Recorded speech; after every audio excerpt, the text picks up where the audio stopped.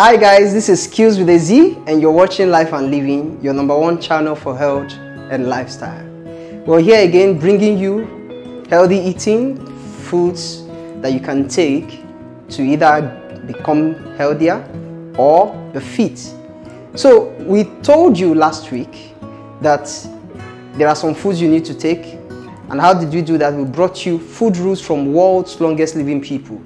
But this week, we'll be talking more about fish. If you recall, in our episode last week, we talked about fish, yes, and we told you to take at least three ounces of fish. We also told you to go easy on fish, all right? But this time around, we'll be talking about fish and seafood.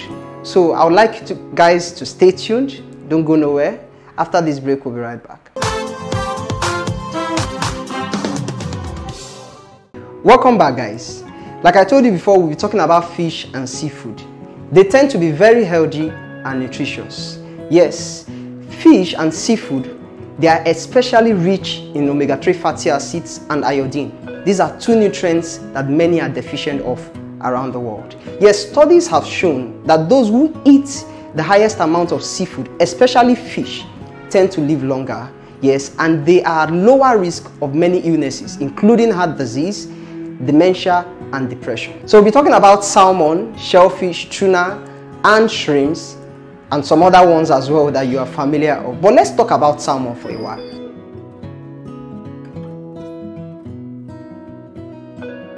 Salmon is a type of oily fish that's incredibly popular due to its excellent taste and high amount of nutrients, including protein and omega-3 fatty acids. It also contains some vitamin D.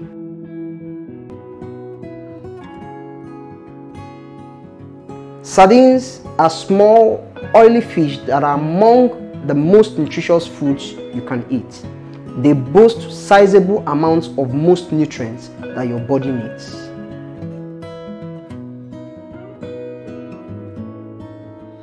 Shellfish rank similarly to organ meats when it comes to nutrient density.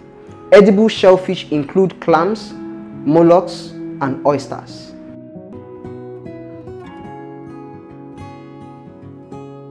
Shrimp is a type of crustacean related to crabs and lobsters. It tends to be low in fat and calories, but high in protein. It's also loaded with various other nutrients, including selenium and vitamin B12.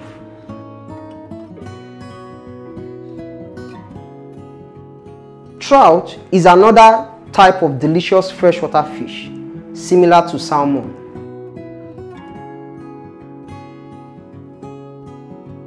Tuna is very popular in Western countries and tends to be low in fat and calories while high in protein. It's perfect for people who need to add more protein to their diet but keeps calories low.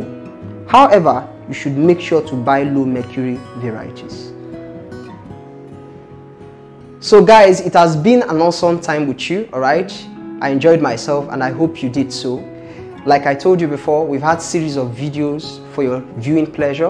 We've talked about different kinds of food that are good for your health and also good if you want to reduce weight and maybe you're conscious of what you're eating, alright? So I want you to go straight to our YouTube page you would see all the videos we've made previously. We've talked about nuts, we've talked about seeds, we've talked about food, we've talked about fruits, we've talked about all kinds of things, you know, that age your health. So I'll look forward to seeing you guys next week. My name still remains Skills, all right? And it's been a wonderful time with you guys. So don't forget, we are also on other platforms like Facebook, on Twitter, all right? So go and follow us at Life and Living 5. I take that again at Life and Living 5. I'd like to see you next time, guys. Thank you for your time. Have a nice week.